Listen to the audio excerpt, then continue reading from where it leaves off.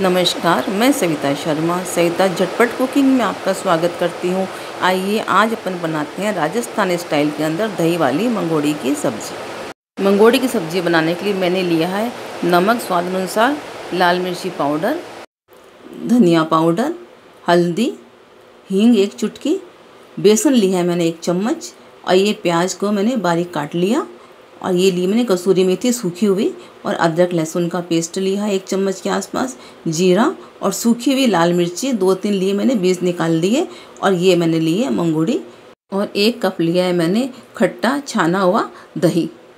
सबसे पहले मैं मंगोड़ी को एक चम्मच तेल डालते हुए सेक लूँगी, भून लूँगी इनको और दूसरी तरफ़ मैंने एक भगोने के अंदर पानी बॉईल करने के लिए रखा है। मंगोड़ी सीखेगी, तब तक हमारा पानी बॉयल हो जाएगा। ये देखो, मंगोड़ी को सीखने में चार से पाँच मिनट लगे और ये सीख के तैयार हो गई है।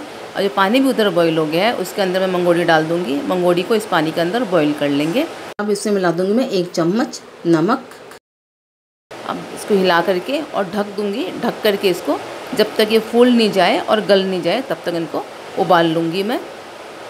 ये ढक के इसको रख दिया मैंने दो चार, तीन चार मिनट के लिए। अब मैंने एक पैन के अंदर तेल लिया, उसमें मैंने डाला है जीरा, हींग, साबुत लाल मिर्ची और अदरक लहसुन का पेस्ट और हल्का सा इनको रोस्ट होने के बाद में इस पे अंदर डाल दूँगी मैं प्याज, जो मैंने बारीक काट के रखे थे, थोड़े से प्याज, वन टेबल स्पून ही प्याज चाहिए और प्याज नरम होने तक मैं चलाऊँगी और फिर मैं अब दही के अंदर जो मैंने बेसन लिया था एक चम्मच, दही में एक चम्मच बेसन मिक्स करते हुए, अच्छे से हिलाते हुए इसके अंदर डालूँगी। दही में बेसन मिलाने से क्या होता है कि दही फटता नहीं है, वरना दही के फटने का डर रहता है।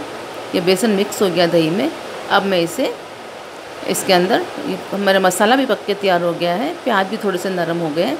अब लगातार चलाते हुए दही को डालूँगी, जब तक दही में एक उबाल नहीं आ जाए। इसको मैं लगातार चलाती रहूँगी। अब ये बॉईल हो गया। इसके अंदर डाल दूँगी मैं लाल मिर्ची पाउडर, हल्दी पाउडर। और ये डाल दूँगी धनिया पाउडर। अब मसालों को इसमें अच्छे से मिक्स कर लूँगी। देखो, अच्छे से चलाते हुए मसाले मिक्स उससे मसाले मिक्स हो रहे हैं बॉईल हो रहे हैं, तब तक मैं देखती हूँ। देखो, दूसरे भगोने के अंदर भी मंगोड़ी बॉईल होकर तैयार हो गई है। मंगोड़ियाँ काफ़ी फूल भी गई हैं। अब अपन चेक कर लेते हैं मंगोड़ियों को भी। ये देखो, एक मंगोड़ी लेकर के मैंने हल्के दबा के देखा इसको। ये सारी दब गई है, सब मंगोड़ी अच्छे से तैयार हो गई बॉईल हो गई और देखो कितनी फूल गई है ये।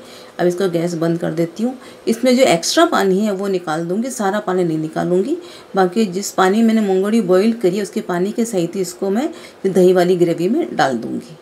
मुझे सब्ज़ी में जितना रेशा चाहिए, झोल चाहिए, उस हिसाब से मैं पानी डालूँगी और एक्स्ट्रा पानी मैंने हटा दिया था। ये देखिए परफेक्ट है। अब इसमें डाल दूँगी मैं नमक। नमक डाल मिक्स करने के बाद में इसको मैं दो से तीन मिनट के लिए लो फ्लेम के ऊपर ढक कर के रख दूँगी। ये काफ़ी अच्छी और टेस्टी सब्ज़ी बन के तैयार होती है। आप लोग भी बनाइए, खाइए और मेरे चैनल को पहले सब्सक्राइब नहीं किया तो प्लीज़ सब्सक्राइब कीजिए और शेयर कीजिए। ये सब्ज़ी बन के तैयार होगी। कितनी अच्छी से तरी आई है इसके ऊपर। फिर ज़्यादा तेल की ज़रूरत नहीं होती है। इस वक्त आप चाहें तो इसमें गरम मसाला भी डाल सकते हैं। अब मैं इसे एक बॉल में निकाल करके और हरे धनिया से गार्निश कर दूँगी। बहुत ही अच्छी सब्ज़ी बनी है ये। इसमें डाल दिया मैंने हरा धनिया। यदि आपको पसंद आती है तो आप मेरे चैनल को लाइक करें और मुझे कमेंट बॉक्स में लिख के बताएँ। धन्यवाद मेरा पूरा वीडियो देखने के लिए। फिर मिलते हैं एक नई रेसिपी के साथ।